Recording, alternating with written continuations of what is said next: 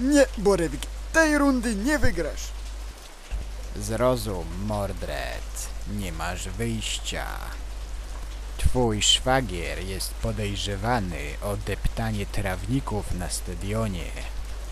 To poważna sprawa. Daj spokój, nic na nas nie masz. Jeśli mi powiesz, gdzie jest szwagier, to nie walnę cię pałą.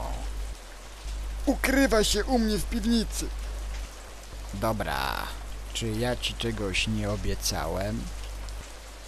No, że nie walniesz mnie pałą. Spoko.